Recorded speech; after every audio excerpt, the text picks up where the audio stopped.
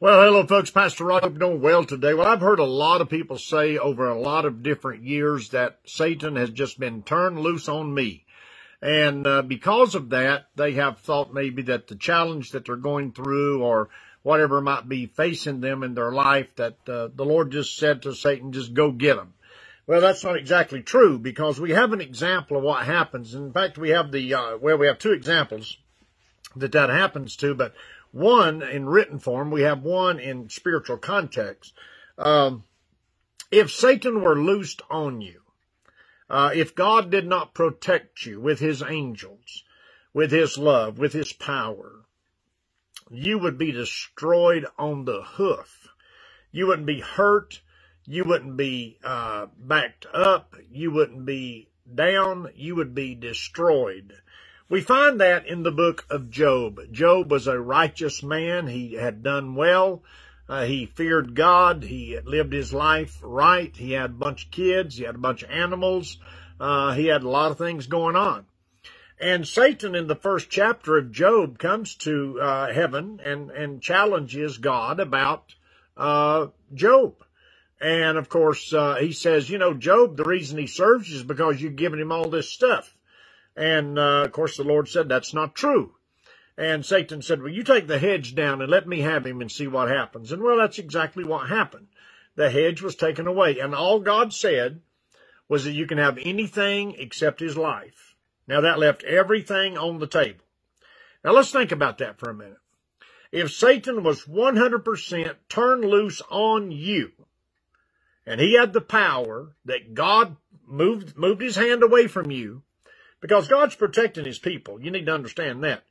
If, if God were to move his hand and Satan had 100% power over you, according to the story of Job alone, he would destroy everything you have. And that's what happens. In this first chapter, it talks about a number of things about Job and about the type of man that he was and about the conversation that Satan had with the Lord. And verse 12 says, And the Lord said unto Satan, Behold, all that he has is in your power. Only upon him, himself, put not your hand. So Satan went forth from the presence of the Lord. And I want to tell you something very important. If you read this story and you read it in a spiritual context, you will find out what happens when Satan is turned loose of you. Satan immediately killed his animals, immediately burned his fields, immediately killed his children. In fact, the scripture says that when one man was telling Job of an atrocity, a tragedy that was happening in his life, another man was standing in place ready to tell him another one. All of Job's kids were killed. All of his animals were destroyed. All of his fields were burned. Everything he had, one, two, three, gone. Every bit of it. Didn't wait. You know, somebody says to me, you know, boy, the devil's just been turned loose on me. It's not true. It's not true. Because if he was turned loose on you, he'd take everything you had. The devil is a liar. He is a thief. He comes against you. Now, let's clarify. You could be tempted or tested by the enemy, for sure.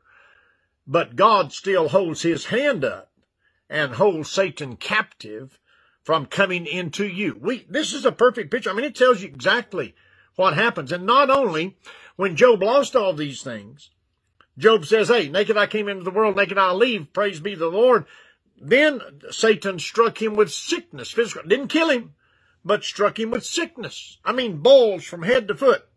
So bad that he sat in ashes and took clay pots and tried to scrape the sores. They were hurting so bad. Now, folks, it's important to understand that we have a caring God, a loving Savior that has his hand out to help you and to help me. And even though sometimes we do feel like the enemy's been turned loose, sometimes we feel like we can't get a break. I've had that happen to me, oh, I don't know, a bunch of times over these years. I've had somebody say, why don't the big guy give me a break? And I said, well, first of all, he's not the big guy. Why don't the man upstairs give me a break? Well, first of all, he's not the man upstairs. He is God Almighty. That's the issue. And God will put us in our place where we need to be, how we need to be. Listen, why is God leaving you here? He's leaving you here to show a testimony to somebody about what is happening in your life. He is leaving you here because you can shine for Him if you understand your relationship to Him. You can't witness to anybody in a positive manner if you walk around and talk about how bad things are. The devil's beating me to death. I can't get ahead. I can't do this. I can't do that. Listen, God said, I will bless you. God said, I will take care of you. David of old said, I am now old, but once I was young, I have yet to see the righteous forsaken, nor their seed begging bread. And yes, war comes. And yes, atrocities come. And yes, wickedness comes. But God still has the final word. This is a wicked world in which we're living in. There's no mystery to that for any of us. So we need to understand that God is having mercy on his children. And whatever's going on in your life today, it's for a lesson. It's now, if you do something wrong, it's for correction. He wants to put you back where you're supposed to be to where you do what you ought to do. Uh, so there's correction. But when he puts you in that situation, he expects you to learn from it. Why? Because you love him. I mean, if you don't love God, it doesn't matter then. We just cast everything to the wind. But understanding the love of God, the mercy of God, the grace of God. Somebody says, well, I'll tell you one thing. If this is been God's will, the way I'm suffering, I'd just rather be out of God's will. That's exactly what the devil's plan is. That's exactly. You know, the Bible says that the devil calls good evil and evil good. It is important to understand that we need to stand up for what is right in the name of Jesus Christ. You are somebody. Yes, I understand with all of my heart. I understand that there's rough days. There's tiring days. There's tough days. I understand all that. But let me tell you this that you need to get. You need to understand that God's love never changes for you. Somebody said one time, well, I had a family member that got killed in a car wreck or somebody shot him or somebody, they OD'd. Tragic stuff, all of it have no answers for it other than the fact that the devil got a hold of them and believed a lie and therefore they committed a terrible, terrible transgression. And I'm sorry about that. Could God have stopped it? Absolutely. But God lets the world flow according to his own word. He lets the world flow as it is until he redeems it back in Revelation 19. So it's important to understand that God's got it figured out.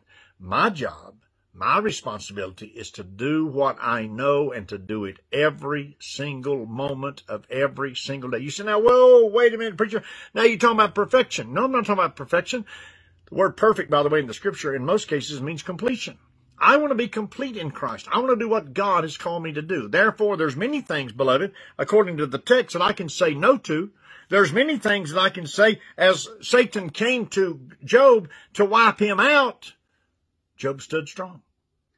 When his family was gone, when his animals were gone, when his land was gone, when his health was gone, and all these things, Job did not curse God. Why? You ever wondered about that? I'm going to give you one answer and close it out. Because Job knew God. That's why he never cursed him. Because the God that Job knew, even though he was in a tight spot, he recognized and respected the God that he knew enough to know that it was for his learning and our example and Christ's glory. And if you do that, God will bless you for it. God bless you. We love you and goodbye.